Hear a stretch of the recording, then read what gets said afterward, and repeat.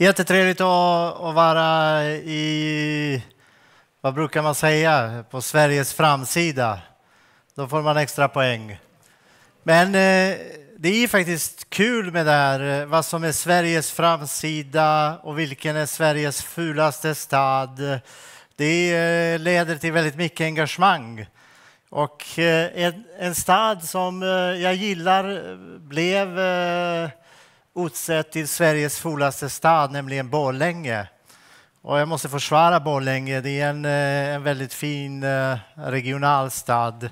Men när vi tittar på våra fastigheter, det som är eh, det fantastiska med våra fastigheter där vi har kommuner som hyresgäster, det är att det egentligen spelar ingen roll om de är i Göteborg på framsidan, om de är i Borlänge eller om de är i Luleå.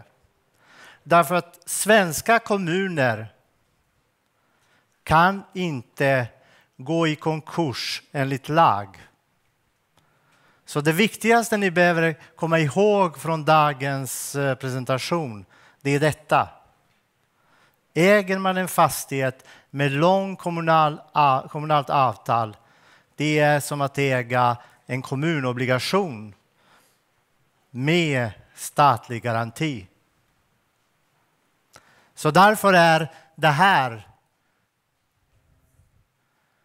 en eh, av Sveriges finaste investeringsobjekt. Det har samma kreditvärdighet som svenska staten. Det är svenska staten som är den ultimata garanten. Det här är nämligen eh, det vackra kommunhuset eh, i Borlänge 15-årsavtal. Nu kan ni ta fika, nu vet ni allt om Samhällsbyggnadsbolaget. Men för de som har lite mer tålamod tänkte jag berätta lite mer. Och det är att vi har fastigheter för 25 miljarder, 1,6 miljarder i hyresintäkter. Vi har nästan ingen vakans.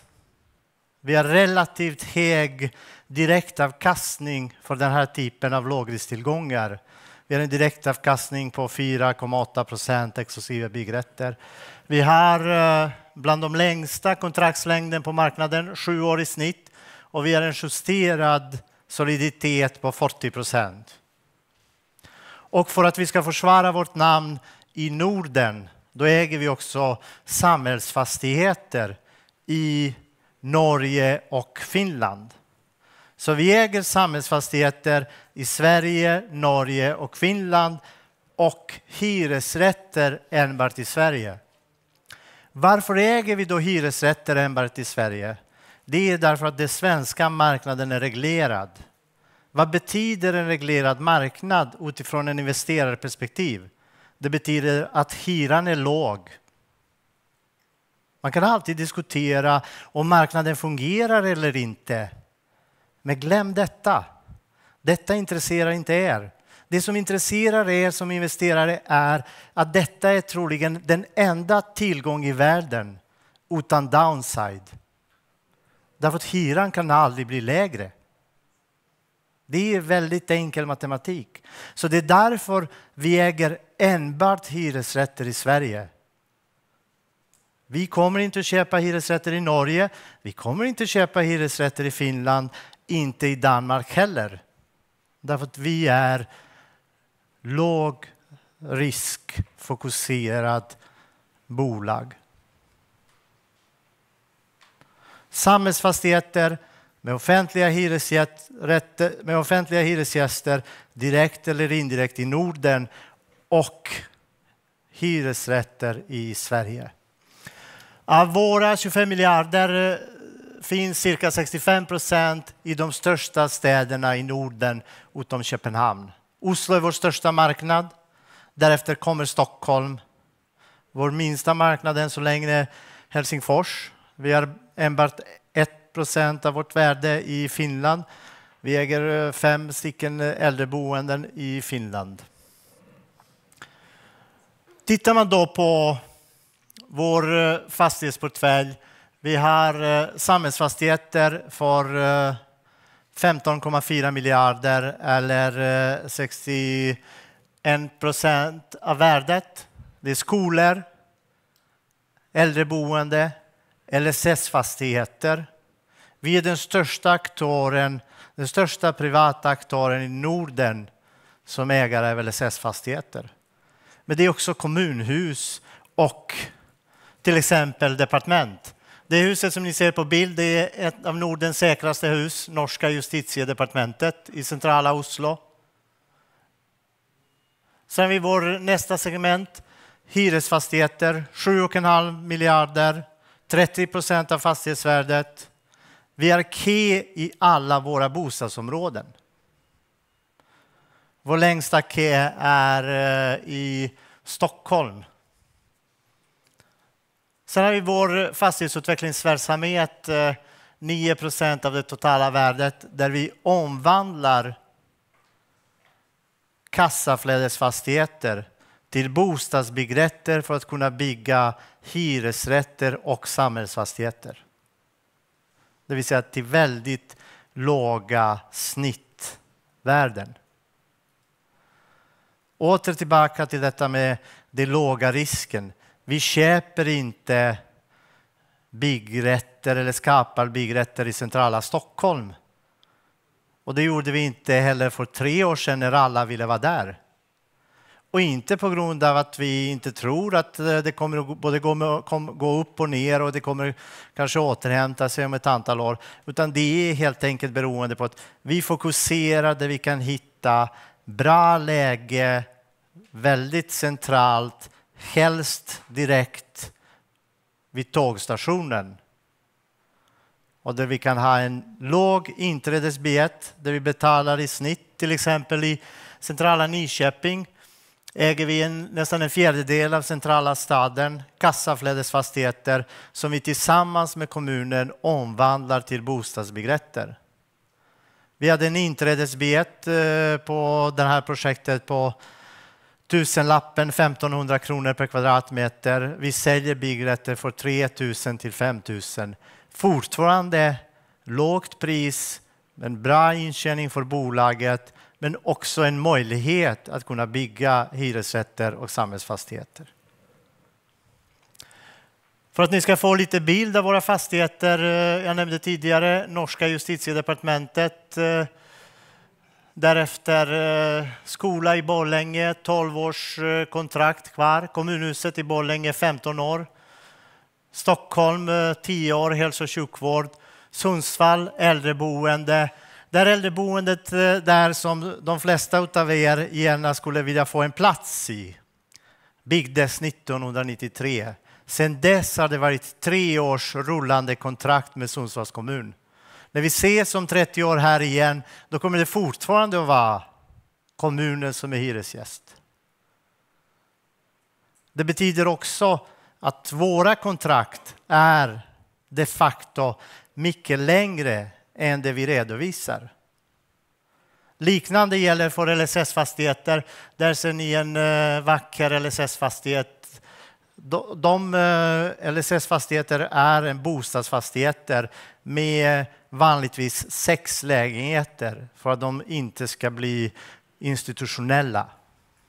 För att det, inte, för att det ska kännas tryggt att bo i en vanlig bostadsfastighet. Lite mer om vår kontraktslängd, därför att det här är en viktig punkt eh, i det här tänkandet som vi började när jag inledde presentationen, att detta är så nära en kommunobligation man kan komma och få lite bättre avkastning än en kommunobligation. Tittar ni på vår kontraktslängd, då kommer ni att se att fyra utav tio av våra kronor är tio år eller längre. Men ni kommer också att se att av de kontrakt som förfaller under, under de närmaste åren fram till 2022 62 procent av de hyresgäster som är där har varit där 20 år eller längre. 62 procent har varit 10 år eller längre. 30 procent har varit i fastigheten 20 år eller längre. Så att de facto kontraktslängd är mycket längre än eh, den snitt som vi redovisar på sju år. Tittar man på vårt bestånd av eh, hyresfastigheter, eh, den första fastigheten eh, är från Västervik. Det är ungefär så huset närmast kyrkan ser ut i en vanlig medelstor stad. Ni är förstås alla storstadsmänniskor, så ni har inte varit ute i Sverige. Men om ni skulle komma ut i Sverige, då skulle en, ett hus närmast kyrkan mitt i stan ser ut ungefär så där. Den är aldrig vakant och den är alltid likvid. Därför det finns alltid någon lokal person, oftast en man, ibland en kvinna som gärna vill äga den. Tittar vi vidare, Karlstad, ett väldigt fint eh, bostadsområde mellan eh, centrum och universitetet, Borlänge, miljömärkta hus. Oskarshamn, eh, vi äger faktiskt eh, det mesta i centrala Oskarshamn, likaså det mesta i centrala Skara. Och sen äger vi drygt 10 procent av vårt värde i Stockholm. Och i Stockholm har vi Stockholm, Nacka, Nykvarn, Järfälla. Där ser ni ett av våra hus eh, i Stockholm, i Gubbängen, i mitten. Våra hyresrätter är fortfarande väldigt lågt värderade. Vi har ett värde på boken, det vill säga det bokförda värdet på 12 000 kvadraten. Att jämföra med värdet på före detta D. Carnegie, numera Hembla, som ligger på 17 000 kvadraten eller med det budet som Vonovia la på Victoria Park på cirka 18 000 kvadraten. Så det finns någon krona till också att få med sig i värdet framöver. Men den viktigaste bilden som återkopplar till det jag inledde min presentation med är den här. Den visar att av våra 1,6 miljarder, 92 procent av intäkterna kommer antingen från stat eller kommun, direkt eller indirekt, eller från svenska reglerade hyresrätter. Vi har enbart 8 procent av våra hyresintäkter som kommer från kommersiell verksamhet. Vi är partner till några av Sveriges största kommuner. Vi, också, vi gjorde senast för några veckor eh, den första 50-årsuthyrningen i Norden någonsin när vi kom överens med Skellefteå kommun som annars är eh, en av Nordens rikaste kommuner att eh, vi kommer att äga deras nya kulturcenter. En affär på drygt en miljard som de kommer att hyra på ett 50-årsavtal. Jag hoppas att vi kan ses om 50 år och följa upp det avtalet också. Vad är det som spelar roll för oss? Det centrala utöver detta med obligationsliknande intäkter. Det centrala är tre stora underliggande trender. Det första är demografi. Det är bara att titta i den här lokalen så då kommer ni att förstå hur demografin kommer att se ut de närmaste decennierna. Inte minst i Norden där vi har en växande befolkning och därutöver en åldrande befolkning där folk lever allt längre för varje år. Den andra är eh, förändringen mot mer hållbarhet och eh, möjligheter att göra energieffektiviseringar.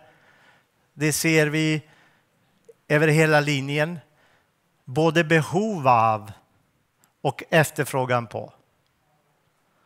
Och det tredje trenden är urbanisering. Men urbanisering är inte bara att folk vill eh, flytta in till Göteborg. Utan urbanisering är att folk flyttar till närmaste större stad. Folk flyttar närmare kusten. Folk väljer att flytta där det service eh, och utbud finns. Och det ser vi över hela världen. Och alla de tre trenderna skapar extra efterfrågan på de fastigheter vi äger. Och bara för att eh, ge er en liten inblick. Eh, det här är eh, en av bilderna från ett annat bolagspresentation som visar behov av platser eh, i äldreboenden. Och så skulle vi kunna rada ut de olika bilder som understryker den kraftiga efterfrågan som eh, vi kommer att se de närmaste åren driven av de demografiska förändringar.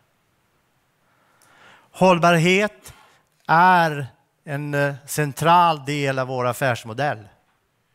Man kan inte bedriva en eh, samhällsbyggarverksamhet om man inte ser hållbarhet som en väldigt viktig del av affärsmodellen. Det är också därför som vi genomför nu energieffektiviseringar i 2000 av våra lägenheter. Vi har också gjort för detta en, eh, ett ram för en grenobligation. Vi har inte valt att använda den därför att vi tycker fortfarande att eh, våra obligationspriser är eh, fel. Vi har eh, egen finansiering för att kunna göra de investeringar själva.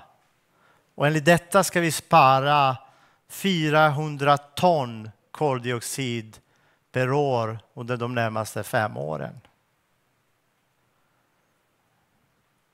400 ton per år. Det finns väldigt stora möjligheter att göra stora insatser, framför allt i hyresrättsbeståndet. Så det är både en trend som gör att vi kan bidra till samhällets utveckling och mer hållbara förutsättningar, men också att vi kan få en bättre driftnetto genom lägre energikostnader.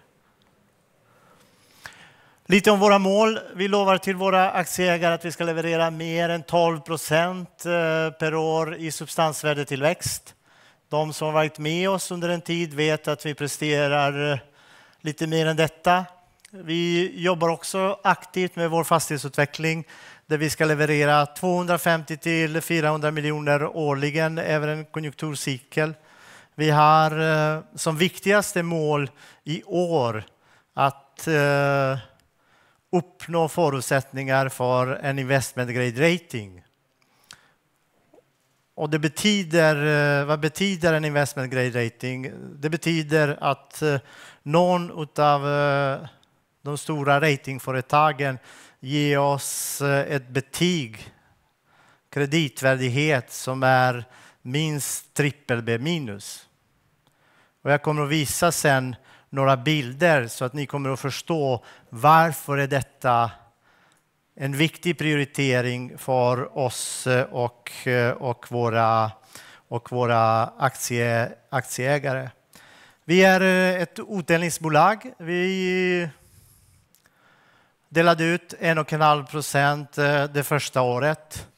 Och i alla fall min personliga ambition är att vi ska, i och med att vi har 50-årsavtal, då ska vi kunna, kunna höja utdelningen åtminstone de närmaste 50 åren. Vi har eh, en omfattande renoveringsprogram. Vi har eh, i år eh, Första året renoverade vi 100 lägenheter, andra året renoverade vi knappt 200 lägenheter. I år är vi under tre första kvartal uppe i 355 och eh, det operationella målet är att eh, andra halvåret 18, första halvåret 19 renovera cirka 600 lägenheter. Det viktigaste för ett bolag är faktiskt inte de vackra fastighetsbilderna. Det viktigaste är människorna där har vi haft möjlighet att ha med oss några av Sveriges mest erfarna fastighetspersoner. Allt från Lars Dagesson som varit med, varit vice vd för Kungsleden, grundat Hemfosa, till Christer Karlsson som är eh, Sveriges troligen eh, bästa fastighetsutvecklare, till en styrelse med Lennart Schuss, grundare av Catella, Sven-Olof Johansson, grundare av Fastpartner, Fredrik Svensson, eh, näst största ägare i Balder, Anne-Grete Strem Eriksen, eh, före detta norska försvarsminister, eh, Eva Svartz Grimaldi som har suttit eh, i, som vd och styrelseordförande för olika bolag och eh, Hans Runesten som var med också när Sagax startades. Så vi har en väldigt stark uppbackning har väldigt mycket erfarenhet från branschen. Och det är också det som ni kommer att se i vår aktieägarlista. De flesta av våra ägare är fastighetsfolk. Efter eh, mig, näst största ägare, är eh, Arvid Svensson som är näst största ägare i Balder. Därefter kommer Sven-Olof Johansson. Eh, sen kommer Erik Paulsson med Backa Hill och så vidare och så vidare. För att eh, börja avsluta det hela, några korta, i och med att vi presenterade 31 oktober vår kvartalsrapport, några korta inblickar från detta. Vi gjorde ett resultat på 482 miljoner efter eh, skatt. Vi har eh, betalat tillbaka obligationer för 1,2 miljarder för att minska våra räntekostnader. Vi sänkte ränt, snitträntekostnader som var i slutet av förra året 3,5 procent till 2,5 procent i slutet av tredje kvartalet. Och det finns mer att göra där. Vi har också förstärkt eh, vår eh, balansräkning inklusive kvartalsresultatet med ett eget kapital på cirka 1,8 miljarder i slutet av, i slutet av tredje kvartalet. Och för att eh, avrunda med vår intjäning, som jag nämnde inledningsvis, intäkter 1,6 miljarder, driftnetto på 1,1 miljarder och fortfarande höga finansiella kostnader. Trots detta, trots finansiella kostnader på 382 miljoner, normaliserat skulle de behöva ligga cirka 100 miljoner lägre. Men trots de höga finansiella kostnader redovisar vi en intjäningsförmåga på 766 miljoner från vår fastighetsförvaltning. Till detta ska läggas eh, intjäning från vår fastighetsutvecklingsverksamhet som blir lite grädde på moset. Och det var den här bilden som jag lovade när jag pratade om rating. Här ser ni hur snabbt vi har sänkt våra finansiella, våra finansiella kostnader eh, under det här året eh, genom pris på våra obligationer som, som har närmast halverats under de senaste 12 månaderna. Så jag hoppas att kunna visa en liknande bild eh, nästa år där den här sänkningen av de finansiella kostnaderna fortsätter. Därför att det är på det sättet att våra lågrisktillgångar med svenska reglerade hyresrätter och nordiska samhällsfastigheter klassas av alla ratinginstitut som A-tillgångar. Så det vi behöver göra det är att vi behöver fortsätta sänka vår belåningsgrad lite till för att kombinationen ska leda till att vi kan uppfylla villkoren för en investment grade rating. Då kommer vi att kunna förstärka vårt eh, resultat ytterligare. Så sammanfattningsvis eh, hållbara och eh, Stabila kassaflöden är eh, kärnan för vår verksamhet. Vi har en eh, väldigt eh, erfaren och bra fastighetsutvecklingsteam, eh, bra transaktionsteam. Vi har eh, förberett förutsättningar för att uppfylla villkoren för en investment grade rating och därmed sänka våra finansiella kostnader. Och det är fortsatt fokus för vår verksamhet eh, under det närmaste kvartalet. Vi ser en stark potential från våra renoveringar och vi räknar med att renovera andra halvåret 2018, första halvåret 2019 600 lägenheter. Vi ser eh, fortfarande potential att kunna sänka våra kostnader genom energieffektiviseringar och eh, vi ser eh, en fortsatt stabil marknad där våra lågrisktillgångar snarare kommer eh, att eh, framstå ännu mer attraktiva än de har varit när det har varit relativt enkelt att investera i fastighetsbranschen. Tack för mig. Tack så mycket Ilja. Varsågoda att flytta över här så har vi några minuter kvar för eh, frågor och jag har lyssnat till dig tidigare och alltid lika fascinerande att höra här och din eh, beskriv, beskrivning av företaget och eh, hur, hur det har byggts upp. Och jag, jag, jag vill ändå börja, och du pekar på de lågrisktillgångar, det håller jag med om, men jag vill ändå, ändå peka, peka på det här med riskerna. Det måste ju ändå finnas några risker någonstans här. Alltså, vilka, vilka risker eh, ska vi som aktieplacerare titta på? Jag tror att, jag tror att man ska separera riskerna när man tittar på samhällsbyggnadsbolaget. Eh, tittar man på vår fastighetsportfölj, då är eh, egentligen den enda risken att det visar sig att den där som man trodde var en ubåt är en riktig ubåt. Det är ungefär på den nivå. Det var där är långa fläden med exponering mot svenska staten. Därmed är det svårt att se risken i fastighetsportföljen. Där riskerna finns är framför allt på finansieringssidan. Det är också därför som vi har haft eh, redan från början bland de längsta kapitalbindningarna på marknaden och har fortfarande en lång kapitalbindning på fyra och ett halvt år eh, och eh, det är också därför som vi lägger väldigt mycket krut på att uppnå en investment grade rating. Ja, du visar på hur räntorna har sjunkit. Eh, ni har gått från en, eh, till, det har fallit rejält, alltså, men ni betalar fortfarande förhållandevis hög ränta. Vi betalar fortfarande, jämfört med, jämfört fortfarande hög ränta och eh, det är också därför som... Också sett i ljuset av den låga risken i fastigheterna. Absolut, men eh, det, det är alltid på det sättet. Eh, är man relativt ny på marknaden som vi är, vi var från början tvungna att betala lite högre ränta också för att försäkra oss och ha en lång tillgång till kapital. Mm. Nu ser vi möjlighet att, eh, att vi har kunnat sänka, till exempel sänkte vi på 12 månaders rullande ränta med 89 miljoner mellan okay. andra kvartalet och tredje kvartalet och eh, vi tror att det finns eh, ytterligare en potential där. Mm, mm. Det är fascinerande när man tittar på hur, hur, snabbt det har gått att bygga upp det här företaget till 25 miljarder. Är det, liksom, är det stopp nu eller kommer ni att vara dubbelt så stora om låt säga två, tre år?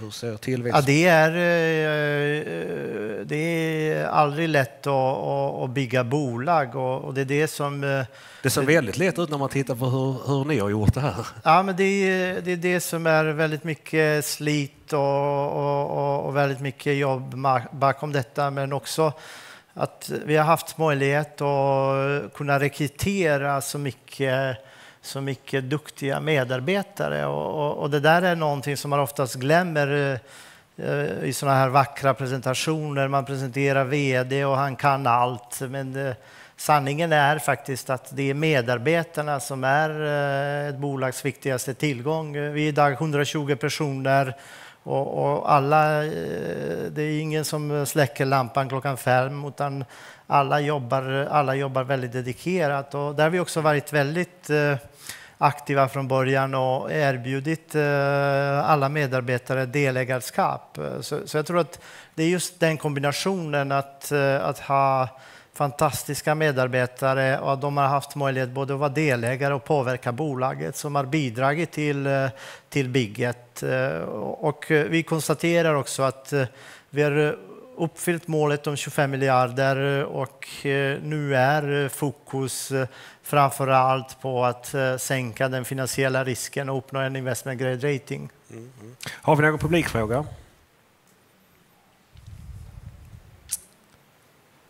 Ja, varsågod.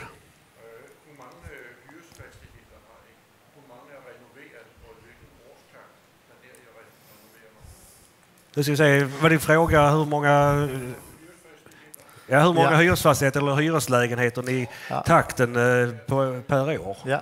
Vi, vi har eh, knappt 9000 lägenheter. Eh, vi har eh, renoverat eh, inklusive de lägenheter som var eh, renoverade när vi köpte fastigheterna, cirka 10 procent av beståndet.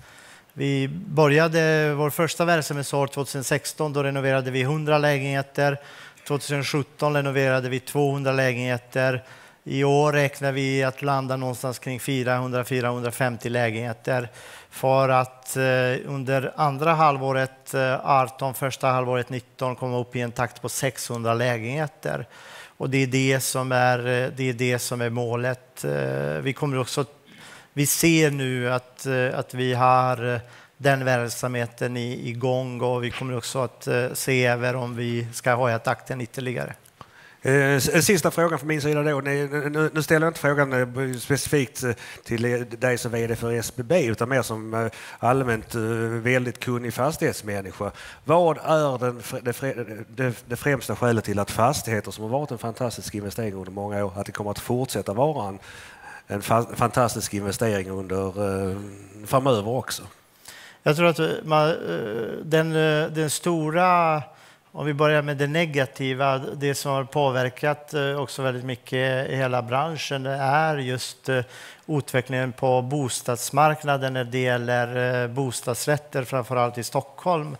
Där finns en risk att, att det kan också påverka kontorsmarknaden i storstäderna. Så där, där eh, skulle jag säga eh, finns, eh, finns vissa risker. Däremot när det gäller hyresrätter, samhällsfastigheter, logistik, långa fläden, det är faktiskt egentligen inte eh, det, är, det är väldigt svårt att se vilka alternativa avkastning givet samma risk kan prestera så bra. Så att, mm, mm, mm. jag tror att det är där som man ska titta på sina möjligheter. Ja, Okej, okay. med det så får vi avsluta här. Tack så mycket. Tack, Tack så mycket. mycket. Tack. Tack.